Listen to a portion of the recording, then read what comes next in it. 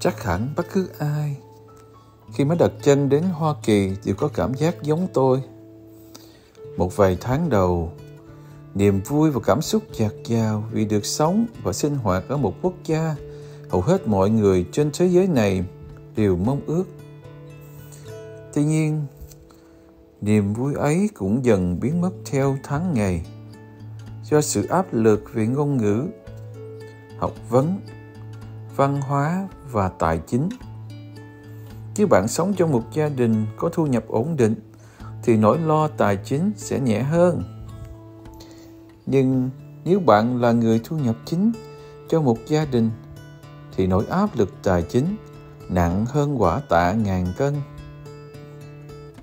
Vì áp lực trong cuộc sống, một số người đã chọn trở về quê hương hoặc tạm thời chấp nhận một công việc đã tiếp tục đi học và cố gắng tìm lại chính mình ở một môi trường mới.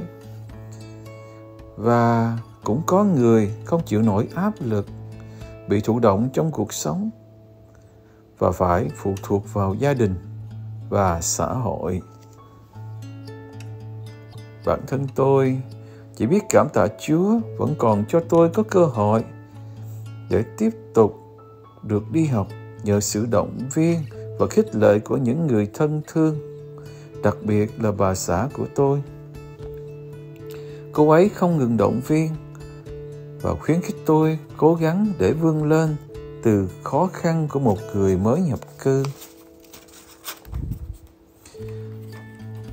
Thời gian trôi đi, tôi nhận ra một điều là sức con người thật giới hạn.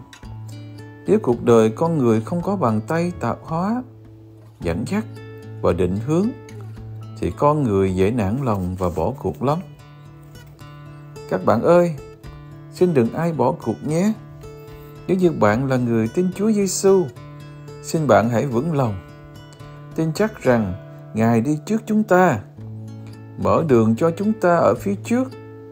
Hãy đứng lên bạn nhé.